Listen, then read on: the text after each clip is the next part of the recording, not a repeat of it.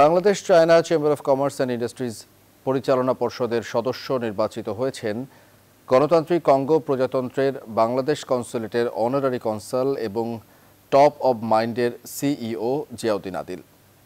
BCCI এর পক্ষে সম্প্রতি পরিচালনা পর্ষদের নবনির্বাচিত এই সদস্যকে ফুলেল শুভেচ্ছা সহ আনুষ্ঠানিকভাবে বরণ করে নেন সংগঠনের president Gazi Golam Mortuza, senior vice president অবসরপ্রাপ্ত brigadier general Shah Mohammad Sultan Uddin secretary general Shahjahan Mridha Benu এবং joint secretary general Al Mamun Mridha. বিশিষ্ট ব্যবসায়ী ও মিডিয়া ব্যক্তিত্ব জিয়াউদ্দিন আদিল গণতান্ত্রিক কঙ্গো প্রজাতন্ত্রের অনারারি কনসাল হিসেবে দায়িত্ব পালন করছেন।